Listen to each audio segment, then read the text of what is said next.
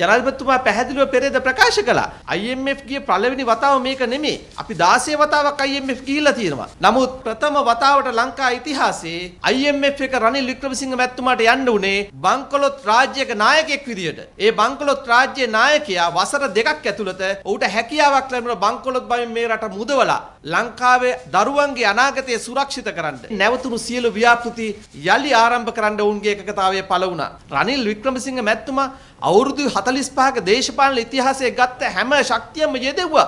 මේ රට විනාශ වෙලා තිබුණ යුකේ එතුමාට නායකත්වය දීමම මම හිතන් දයෝපගත විදියට අපේ රටේ මිනිස්සු ලබපු වාග්යක්. මේක තමයි කිව්වේ යලි කවදාවත් IMF නොයන විදිහට මේ රටේ ආර්ථිකය මං ගොඩ දානවා කියලා රනිල් වික්‍රමසිංහ මැතිතුමා ඒ වචනෙන් විතරක් නෙවෙයි ඌ ක්‍රියාවෙන් කරලා පෙන්වුණු නායකයෙක්.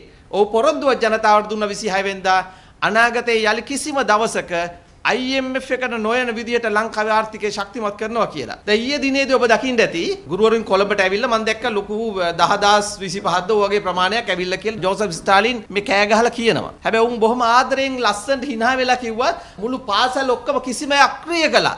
මම දැක්ක තවත් ගුරුවරු ඇවිල්ලා කියනවා රනිල් වික්‍රමසිංහ මොකද කළේ කියලා. මීට අවුරුදු දෙකකට ඉස්සෙල්ලා මේ දෙපාරකට කඩලා දුන්න පඩි දුන්නේ මේ මිනිස්සුන්ට. මේ වෙලාවේ ඔබගේ වෙලාව. මේ නායකයන් ප්‍රයෝජන ගන්න මේ බුද්ධිමතාගෙන් ප්‍රයෝජන ගන්න. ඒක අපේ රටේ අනාගතේ ඉපදින්න දරුවන්ටත් බොහොම දයාබරපත් වෙයි කියලා ප්‍රකාශ කරනවා. මේ රට බංකොලොත් භාවයෙන් මුදා ගන්න අපේ ජනාධිපතිතුමාට හැකි වුණා. අපි දැක්කා මේක ප්‍රකාශ කරන දවසේම පාසල්වල ඉන්න දරුවෝ අච්චර අධ්‍යාපනය ලබා ගන්න මේ ශ්‍රී ලංකාව තුළ ලබා දෙන නිදහස් අධ්‍යාපනය තුළින් ප්‍රතිලාභ ලබන දරුවෝ ගෙවල් වලට ආපහු හිර කරන්න දක්වපු උත්සාහය.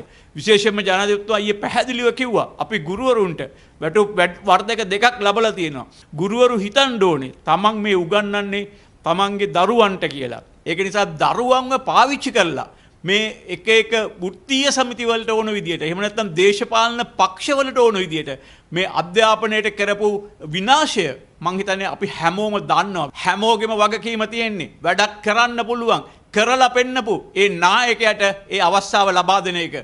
මේ යන පාලනය ක්‍රමය යම්කිසි ක්‍රමවේගකට යනවා. ඒ ක්‍රමවේදය නැවත ශක්තිමත් කරන්න අපේ ගරු රනිල් වික්‍රමසිංහ ජනාධිපතිතුමා අනිවාර්යයෙන්ම මේ රටේ ඉදිරියේදී රට බාරගත යුතුයි. ඒ විතරක් නෙමෙයි අපි මේ වෙනකොට IMF අවස්ථාවල් 16කට ගිහිල්ලා තියෙනවා. ඒ සහන අපි ලබාගෙන තියෙනවා. ඒ වගේම මේ සහන ලැබීම තුල අපි රටේ IMF ක්‍රමවේදයකට අපි ගිහිල්ලා නැහැ. ඒ නිවැරදි ක්‍රමවේදයකට යන්න නම් ඒ ඒ කාල සීමාවල් තුලදී ඒ නිවැරදි මාර්ග තීන්දුව තීරණ වලට එකඟ වෙලා නැහැ. ඒවා කඩාකප්පල් උන නිසා තමයි අපි IMF සහනය ලබා ගන්න අපිට වෙලා තිබ්බේ. එම නිසා ඒ IMF සහනය දැන් ගරු ජනාධිපතිතුමා ආවට පස්සේ නිවැරදි මාර්ගයකට ඇවිල්ලා රටේ යම්කිසි ක්‍රමානුකූලව කරගෙන ගිහිල්ලා ඒ නායකත්වයේ දුන්න නිසා තමයි අද අපිට ණය වාරිකය පවා ගෙවා ගන්නට පුළුවන් හැකියාව ඇවිල්ලා තියෙන්නේ.